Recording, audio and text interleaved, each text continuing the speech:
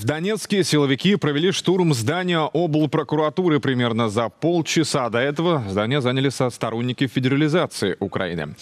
Как сообщил наш корреспондент, все прошло достаточно мирно. А, сейчас на ваших экранах эксклюзивные кадры, которые удалось снять нашей съемочной группе. Э, к прокуратуре подъехали два отряда сотрудников МВД Украины. Этим утром они вошли в здание и через несколько минут просто вывели около 40 активистов. Митингующие были безоружные, задержаний нет. Сейчас сотрудники украинской милиции окружили здание прокуратуры и не пускают никого на территорию.